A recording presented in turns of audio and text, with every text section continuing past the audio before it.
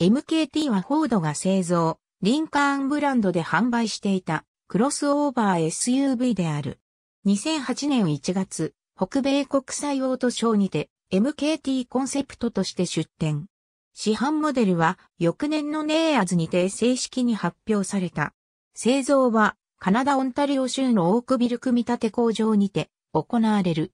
MKT はリンカーンのラインナップでは MKX とナビゲーターの中間に位置する車種となる。コンセプトモデルでは2プラス2のシートレイアウトを採用していたが、市販モデルでは7人乗りと6人乗りが用意される。MKT はまた、2011年に製造を終了したタウンカーに代わって、ハイヤー、リムジン、霊柩車などのベース車両にもなっており、それらの車両については、MKT タウンカーの社名が与えられている。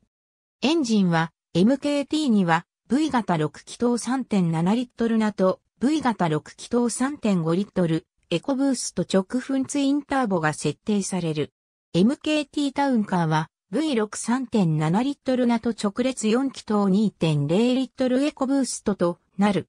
トランスミッションはいずれもセレクトシフト6速 AT。2011年11月にはロサンゼルスオートショーでフェイスリフトモデルが発表された。